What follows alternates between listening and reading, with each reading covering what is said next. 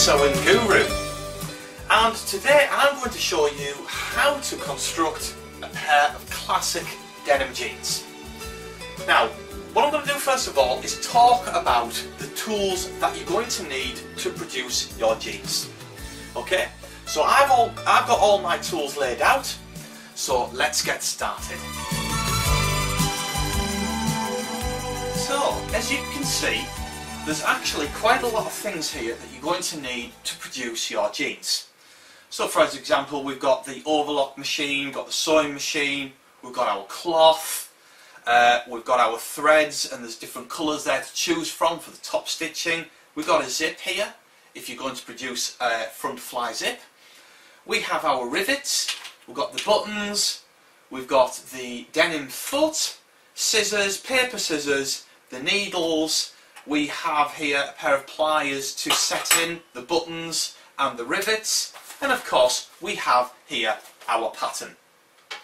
So the first thing what I'm going to do is I'm going to cover each thing apart from the machines in detail. So the first thing what you're going to need is a commercial pattern. Now this pattern is just a standard commercial pattern bought from any regular haberdashery store. Okay, it's from a company called McCall's and it's the classic fit range for the perfect jean. And of course we've got here the number of this pattern which is M5894.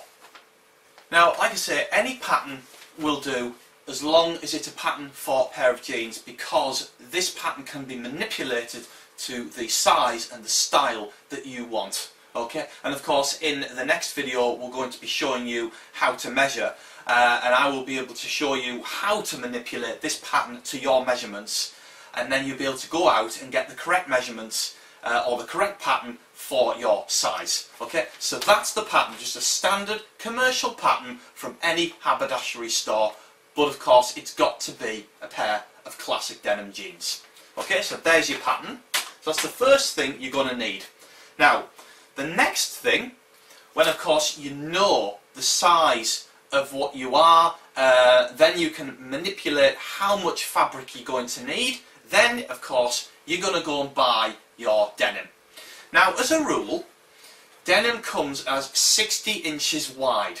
Okay, because a lot of fabrics which come as 45 inches are usually your uh, silks, and very, very sort of floaty fabrics, whereas the more robust or uh, thicker fabrics are always a 60 inch wide cloth. Okay, now I always go for about two meters because what it does is it gives me enough fabric and I've also got just that little bit spare as well just in case I made a mistake because let's face it we all make mistakes okay so I always go for around about two meters so you need your classic cotton denim cloth. Okay, so I've got two meters of that.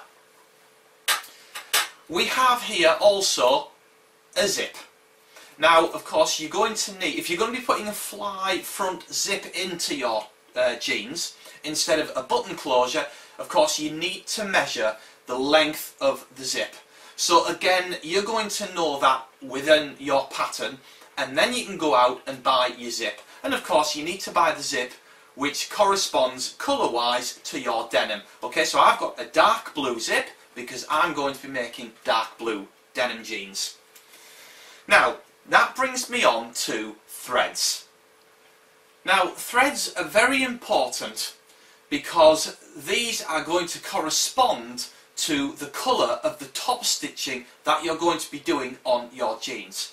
Now, if you've noticed, jeans always have a different colour top stitching to the actual jean itself. Okay, now you can go for a brown, or you can go for a green if you're going to be a bit more sort of uh, elaborate uh, and fancy. You can go for a green top stitching, or you can go for a classic off-white top stitching as well. Okay, now they're all going, all going to look really, really good as a top stitching, but of course you do need your classic colour which corresponds exactly to the colour of your jeans because this is the colour that you're going to be overlocking the panels with and of course you're going to need three of these because we're going to be doing a three thread chain combination stitch for the overlocking. So threads are a very, very important part of your denim jeans because of course you're going to see the top stitching on the outside. Okay, now I'll give you a little tip as well.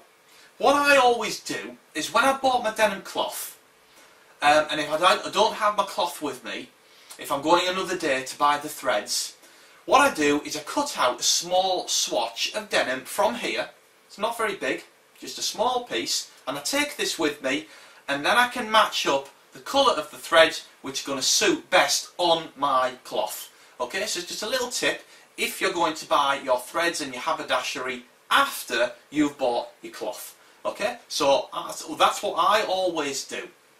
So that's our threads. Now, the next part, of course, go, you're going to need a pair of nice tailoring scissors to be able to cut your cloth. Okay, so you need a pair of those. You need a pair of paper scissors for your pattern. So you don't need to get these mixed up. Very important, you don't get the uh, fabric scissors mixed up with your paper scissors because if you use each for each, if for instance you're using your uh, fabric scissors to cut out your pattern, you're going to blunt them, okay? And you don't want that. So you need to have two separate pairs of scissors uh, to be able to cut the cloth and also your pattern. Now, the next thing, I'll just put these scissors out of the way. The next thing what we're going to do is we're going to be looking at the buttons. Now, these are your classic denim jeans buttons, okay? So you've got a top part, and we also have here a small bottom part. And they go through the denim cloth, and they are positioned in place with a clasp.